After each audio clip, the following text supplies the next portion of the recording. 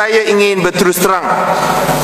Berterus terang bahawa Pakatan Rakyat mesti menunjukkan bahawa kita boleh mentadbirkan Malaysia dengan lebih baik dan lebih bersih daripada Barisan Nasional dan ini hanya boleh dilakukan sekiranya kita ada satu dasar yang jelas yang konsisten dan boleh meyakinkan rakyat tanpa tanggapan-tanggapan partisan daripada komponen-komponen parti.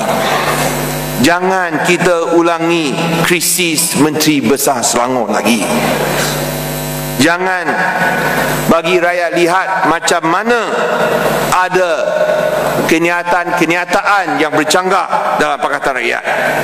Dan untuk pilihan raya umum ke-14 yang akan datang, kita hanya boleh berjaya sekiranya kita jelas siapa calon Perdana Menteri daripada Pakatan Rakyat. Dan juga mesti ada pendirian tegas kedudukan jelas bahawa kerajaan Pakatan Rakyat yang memerintah di Putrajaya tidak akan melaksanakan undang-undang hudud. Itu mesti jelas sama sekali.